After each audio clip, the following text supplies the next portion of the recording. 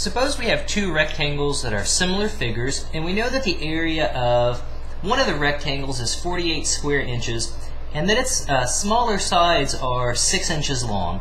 The other rectangle has a smaller side that measures 18 inches, and we want to know what's the scale factor between the first and second rectangle.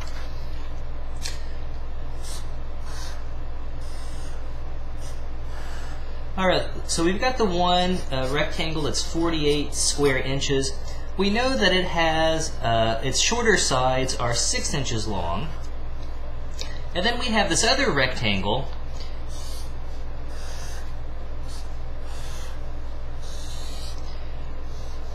and it has uh, smaller sides that measure 18 inches long.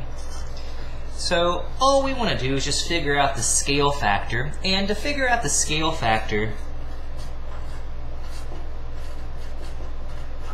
all you're doing is just going to set up a, a, proportion or, you know, equivalently just a fraction.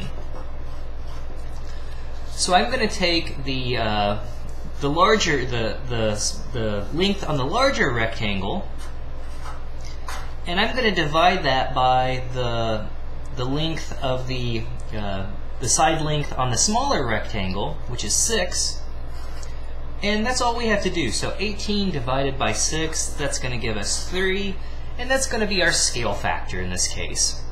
So it's basically just saying that everything gets, you know, as you go from the small rectangle to the large rectangle, all the links are getting three times as large.